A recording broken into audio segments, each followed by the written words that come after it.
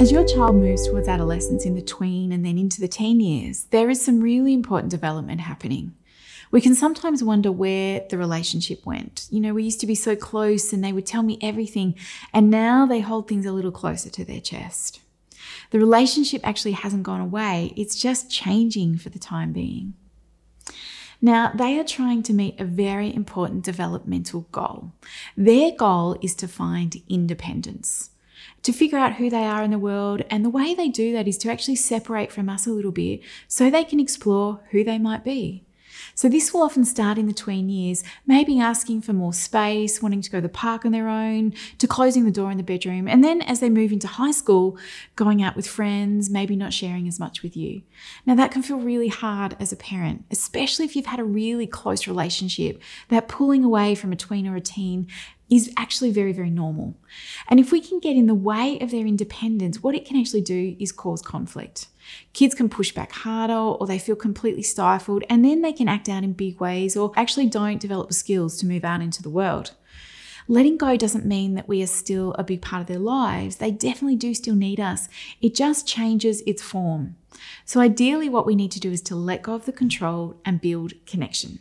Now, during adolescence, our teens need our love, support, and influence more than ever.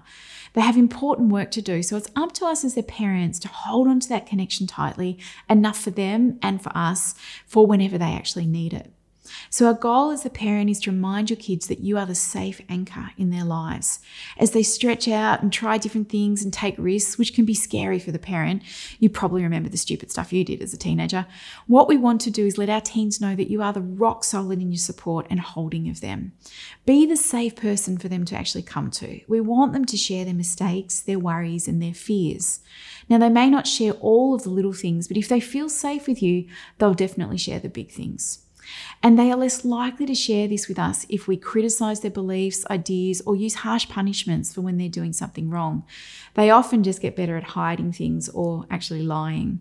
So, how does this actually look? Well, when your teen does make a mistake, which they'll do and make plenty of, or they do get into trouble, take a breath, connect, and go for communication. Ask the questions what was going on for you? Or how do you feel about what actually happened? Or why do you think you may need to do to repair what just happened? And listen, listen really well. Don't jump in with a big lecture. Go for connection. Let them know that we all make mistakes or poor choices and ask what they've learned, what we could do better, what we could do different next time. You, of course, can share your fears and concerns, but the goal is to let them know that you're on their side and together you can help them make amends or find a consequence for what has actually happened. Yelling, screaming, lecturing doesn't usually get you anywhere. And with big feelings and emotions that can surface with hormones and changes in the world, try and stay anchored and connected. Much like a toddler who's having a meltdown because things don't look the way they want them to, teens can often do the same. And we need the same beautiful, loving boundaries and compassion and empathy and so much listening.